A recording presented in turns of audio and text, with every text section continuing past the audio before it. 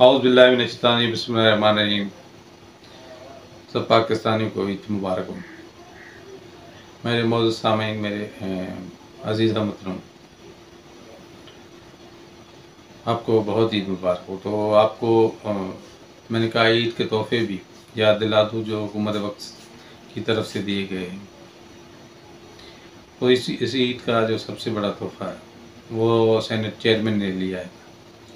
Senate chairman ने जो है, वो चुपके चुपके सिर्फ़ साइन लेके बिल पास करवा लिया सेनेट से, कि उनको जो है, करोड़ रुपए की ना तनख्वाह तनख्वाह भी मिलेगी, तनख्वाह के बाद गाड़ी भी मिलेगी। आठ मुलाजम मिलेंगे और चार सिक्योरिटी गार्ड मिलेंगे उनको रहने के लिए। आलिशान घर दिया जाएगा और उनके अलावा उनका जो टी डी बनाया जाएगा। यानी कि जो फ्यूल तो इस्तेमाल करेंगे, मगर उनके आने जाने पर भी जो उनको जहमत होगी, उन जहमत की भी उसको जो है, वो तवाफ़ दिए जाएँगे, यानी कि उसको जो है, वो पैसे दिए जाएँगे। मुख्तसर ये पहले तोहफ़ा बता दिया दूसरा तोहफ़ा बताता हूँ कि हमारे सदार सदर ममलकत जनाब आरफ अलवी, वो हज की शहादत हासिल करने गए और पूरी कौम के लिए दुआ मांगते गए हैं, पूरे ख़ानदान के साथ। पूरे सर, सरकारी खर्चे पर जो है सदर ममलकत जो है हज की शहादत हासिल करने के लिए रवाना हो गए और भी बहुत सारे गुजरा मशीर ये सारे जो है हो सकता है हज पे हमारे लिए दुआ करने गए वो कि अल्लाह करे कि आई एम एफ़ जो है वो मान जाए। हम जो लोग हैं दो तोहफे तो हमें ये मिल चुके हैं तीसरा तोहफ़ा जो सागडार साहब तो उन्होंने चार साल जो वतन से दूर गुजारे। मगर यहाँ आप आकर वतन अज़ीज़ से उन चार सालों की तनख्वाह की मेरे ख्याल में जो आ, मेरे ज़रा बताते। थे तो सेवेंटी फाइव जो है करोड़ तकरीबन बनते हैं। उन्होंने आके तनख्वाह ली है यहाँ पर। जो इस मुल्क में नहीं थे उस वक्त ही इस गरीब मुल्क से। उस ये उसके अलावा उन्होंने हमें ईद की वजह से, वैसे वो नहीं देते।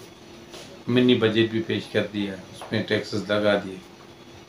अब एक हज़ार रुपये पे जो है, हम साढ़े तीन सौ से चार सौ रुपये टैक्स देते हैं।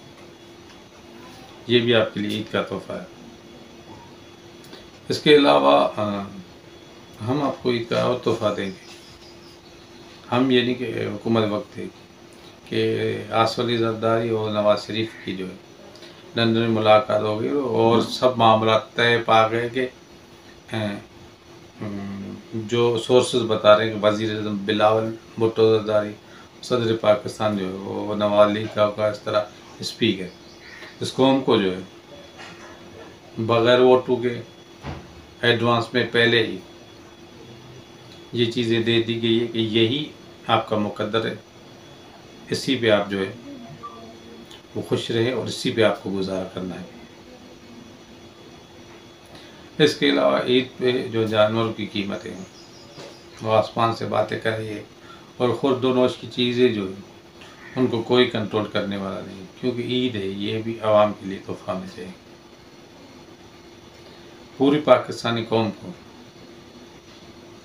इस हुकूमत वक्त की तरफ़ से दी गई सब अजत मुबारक हो और ये अजत इस ईद का तोहफ़ा है।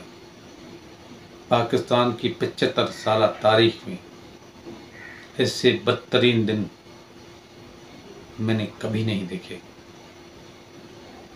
खुद ख्वाजा आसफ कह रहे हैं कि सत्तर परसेंट ये हुकूमती बेंच में बैठा हमारा वज़ीर खारजा दिफा बोल रहा है।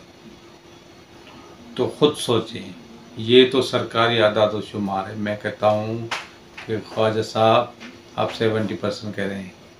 मगर ये जो है, पाकिस्तान की तादाद है। एट्टी फाइव परसेंट है जो एक वक्त का खाना खाते हैं, एक वक्त का खाना नहीं खाते हैं। ये तोहफ़ा भी ईद के लिए हमें कबूल है। तो इन तकलीफ़ दे, लम्हों के साथ मिलूँगा इजाज़त और फिर मिलेगी किसी और वीलाक में किसी नए मौजू के साथ तब तक के लिए। अपना अपने आस पास का बहुत ख्याल रखिएगा। और हम अल्लाह से यही दुआ मांगते हैं कि वतन अज़ीज़ को कायम और दायम रखे। अल्लाह हाफ़िज़।